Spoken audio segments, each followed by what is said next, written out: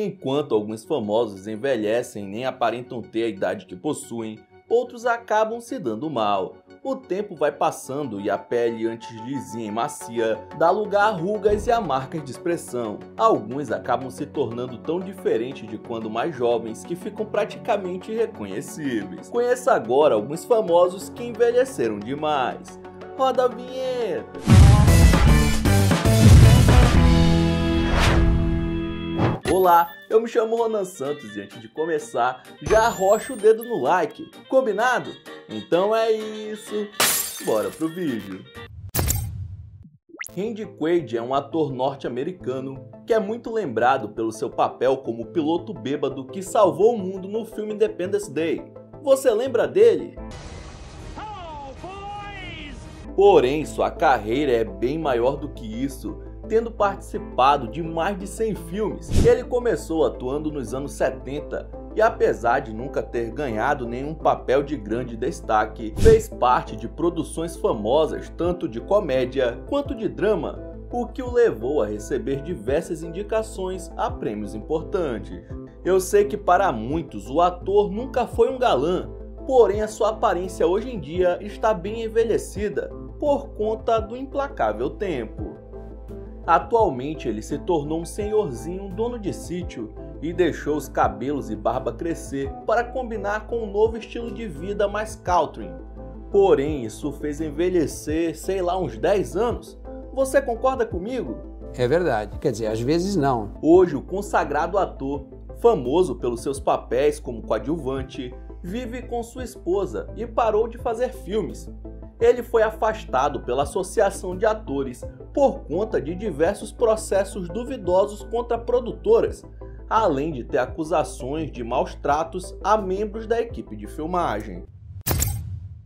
Chris Pine é conhecido do público geek principalmente por ter interpretado James Kirk em Star Trek e Steve Trevor em Mulher Maravilha, e muitas pessoas o conhecem por ser um dos galãs mais charmosos de Hollywood. Achei bonito, viu? Sua carreira começou em 2003, quando tinha 23 anos, e logo chamou atenção pela sua boa atuação em papéis menores. Depois disso, o astro passou a atuar em produções mais conhecidas. Apesar de ainda ser jovem, o artista foi fotografado com uma aparência muito envelhecida isso parece até coisa de filtro do Instagram. Após as imagens viralizarem, muita gente pensou que havia acontecido alguma coisa com ele, né? Mas calma, nesse caso é um pouco diferente. Isso porque ele só está desse jeito por conta do filme Puma, que vai ser lançado nesse ano. Apesar do papel ter feito ele envelhecer horrivelmente, sei lá, uns 10 anos, depois das gravações é só passar em um barbeiro que tá tudo certo.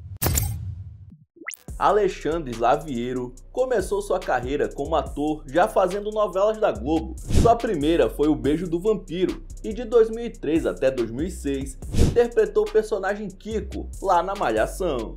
Faz tempo. Na época ele tinha por volta dos seus 20 anos e já ganhou status de galantim, o que garantiu espaço em outras novelas na emissora, onde ficou trabalhando por 14 anos, até que em 2016 assinou um contrato com a Record, onde interpretou diversos personagens em novelas bíblicas. Porém, os anos foram passando e, como qualquer ser humano, o Alexandre foi envelhecendo. Recentemente, ele postou uma foto que espantou seus seguidores, pois estava muito diferente de quando era jovem, o que é completamente natural, né? E vai acontecer com todo mundo. Valdir Fernandes foi um ator bastante conhecido da televisão durante as décadas de 80 e 90. O cara era considerado um dos mais bonitos da sua geração, mas não chegou a fazer muitas novelas. Você lembra dele? Não tô lembrado não. Apesar de ter feito parte de alguns elencos da Globo, seus papéis de maior destaque foi quando ele era bem jovem, trabalhando pela Bandeirantes. Mas por que ele não conseguiu ter uma carreira tão sólida e duradoura? Acontece que no auge de sua carreira, Valdir enfrentou muitos problemas com a bebida. O álcool acabou prejudicando sua carreira, futuras contratações e participações. Por conta desse vício, ele ficou alguns anos sem conseguir trabalho. A situação chegou ao ponto do ex-ator ser visto vendendo picolé na frente de um zoológico em São Paulo. Como seus dias de glória ficaram para trás e veio os dias de luta, ele acabou envelhecendo mais rápido, já que tinha que trabalhar no sol quente e se alimentar do que dava para comprar com seu dinheiro. Você acha que o vício ajudou na destruição da sua carreira? Sim. Infelizmente, em 2017, devido a uma hepatite, Valdir Fernandes faleceu aos 65 anos de idade. Jan-Michael Vincent foi um ator estadunidense que ficou muito conhecido por seu papel na série de TV I Wolf durante os anos 80, ou como ficou conhecido aqui no Brasil, Águia de Fogo. Jan-Michael chamava atenção por conta da sua aparência e sempre estampava capas de revistas, fazendo diversos ensaios fotográficos e conquistando cada vez mais papéis de galã de cinema. A fama chegou ao ponto do artista se tornar o ator mais bem pago da televisão naquela época. Porém, assim como muitos que estão no topo do sucesso, ele acabou se tornando um alcoólatra. Como não tinha mais responsabilidade, passou a ser chamado cada vez menos para trabalhar, até mesmo ficar desempregado. Sem uma fonte de renda e com uma vida de muito luxo, seu dinheiro acabou. Isso fez com que o ex-astro mergulhasse de cabeça no vício, fazendo ele envelhecer ainda mais rápido que o normal. O ator já chegou a ser preso mais de uma vez por dirigir embriagado e em 2012 contraiu uma infecção na perna e precisou realizar uma amputação, já que não estava saudável o suficiente para conseguir lutar contra esse problema. Nos últimos anos da sua vida, o homem estava praticamente irreconhecível. Em fevereiro de 2019, o eterno Jean Michael Vincent faleceu por conta de uma parada cardíaca.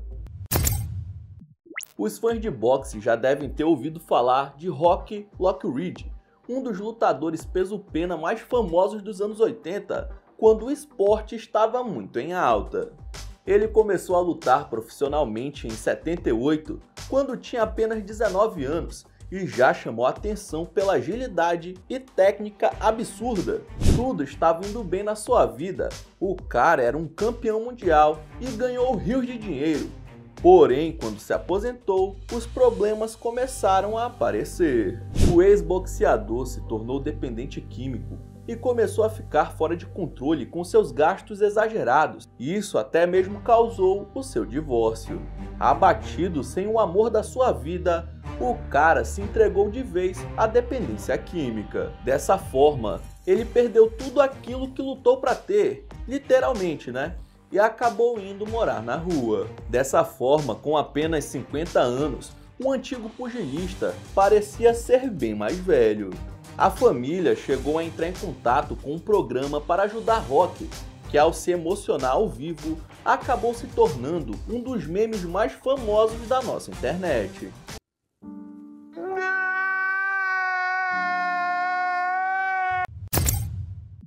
Tracy Wagman se tornou conhecida após participar do reality show Amor Fora das Grades, se tornando uma subcelebridade muito querida pelo público. Nunca nem vi. Apesar de ter feito seu nome e conseguir ganhar uma graninha por conta ali da mídia. Depois da sua participação, Tracy não conseguiu alavancar a carreira e acabou desenvolvendo um vício pesado em substâncias ilícitas. Sua rotina nada saudável fez com que a jovem envelhecesse muito rapidamente e ficasse assim com menos de 40 anos.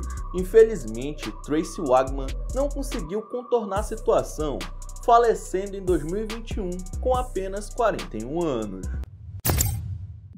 Perivaldo Lúcio Dantas ficou conhecido depois que foi contratado para treinar no futebol juvenil de Itabuna em 71. Não demorou muito para que ele fosse notado por times maiores, principalmente pelos seus pontos positivos, que era grande velocidade e cruzamentos precisos. Perivaldo jogou no Botafogo e venceu a bola de prata, se tornando um nome importante do futebol nacional. O lateral direito chegou a jogar na seleção e quase fez parte do elenco da Copa do Mundo. Não era comum naquela época tanta ostentação, Mas Peri não se importava e sempre aparecia com carrões e roupas caras. O seu padrão de vida era muito alto e o ex-atleta gastava bem mais do que ganhava, chegando ao ponto de viver pedindo empréstimos para outros amigos do esporte. E quando seu contrato acabou, não foi renovado sem conseguir fechar com nenhum outro time por conta da sua idade, o atleta teve que se aposentar, porém suas dívidas eram tantas que ele acabou perdendo tudo e foi morar na rua. Sem uma boa alimentação, exposto à chuva e o sol, o ex-craque foi defiando aos poucos, até falecer de pneumonia, um triste fim para alguém com a carreira tão bonita. E mano, antes de terminar, eu queria te fazer um convite se inscreva aí no canal para dar uma força. Não custa nada e de quebra você fica por dentro do melhor conteúdo da internet. Fechado? Então é isso, muito obrigado por ter assistido até o final. Não esqueça de deixar seu like. E aí na sua tela tem os últimos vídeos lançados pelo Monark X que estão sensacionais.